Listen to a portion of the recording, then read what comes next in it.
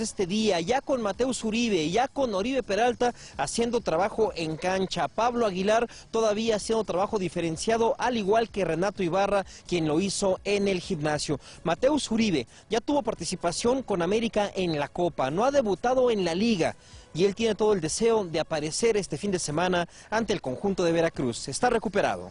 Estoy 100% eh, motivado porque sé que tengo eh, una responsabilidad muy grande por delante. Eh, por decirlo de alguna manera, estoy en deuda porque, pues, por desgracia llegué, me lesioné, entonces no he podido actuar, no he podido demostrar eso por lo que me trajeron. Entonces estoy con la actitud al 100 para, para, para darlo todo.